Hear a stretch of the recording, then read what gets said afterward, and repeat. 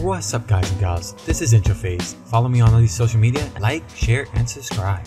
What's up guys and gals, and in this video, I'm going to show you why you shouldn't throw away your old shoes. Now, a lot of people have videos online showing how you glue the bottoms of your shoe back in, but they use this glue called E6000. The problem with E6000 is that yes, it is flexible, which is good.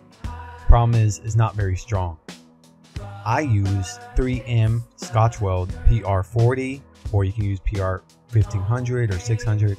The number behind it doesn't matter as long as it's the Scotchweld 3M. And the reason I use that is it's about, I would say anywhere from 10 to 15 times stronger than E6000. The only downside is it's not really flexible. But if you want your shoes to last, from me using E6000 in my other videos, E6000 isn't as strong. A good example of this is when, let's say you're riding a bicycle or electric bicycle and you put your feet down to the ground to slow yourself down, and that will be the test to see how strong the glue is.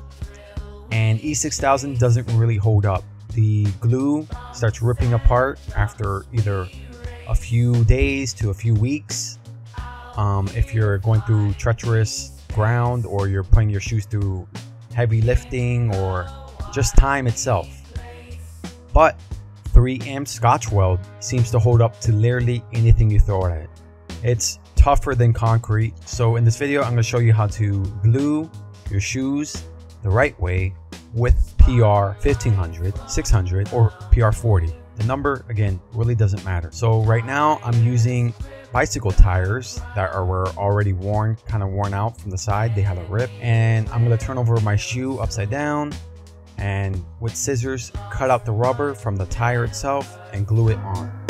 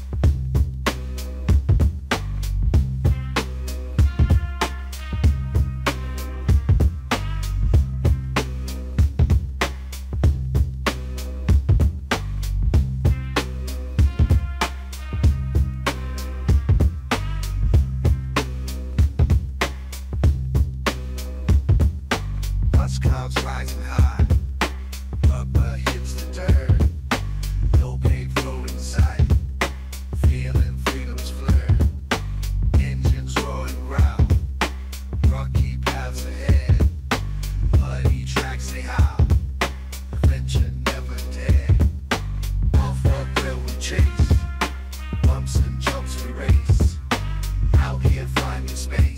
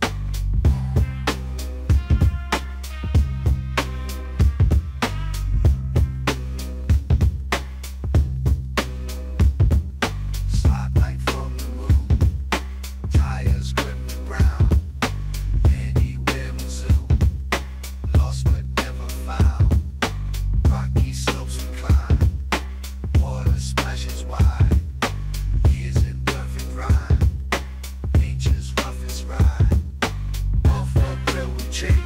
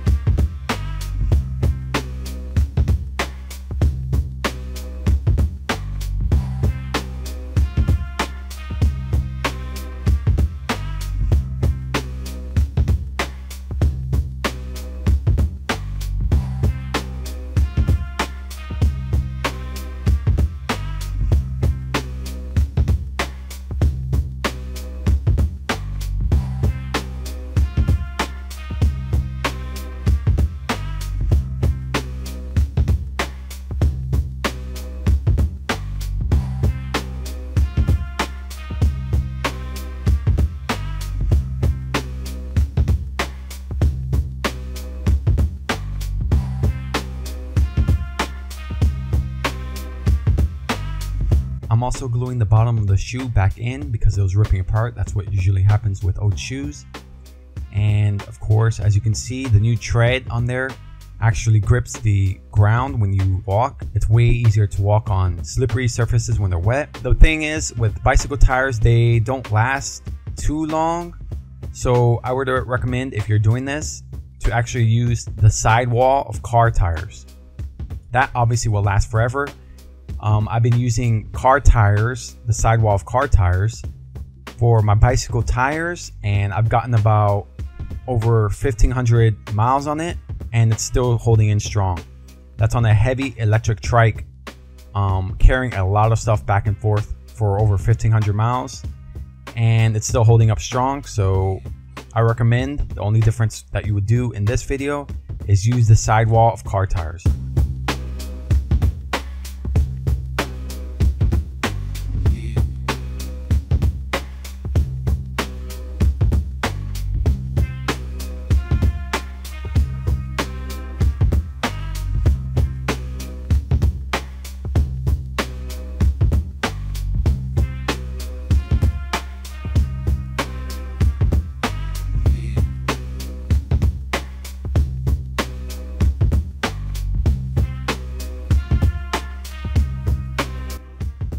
Video was helpful to you guys, and subscribe to my next videos. See ya! This is Introphaze. Follow me on all these social media, and if you like my videos, like, share, and subscribe.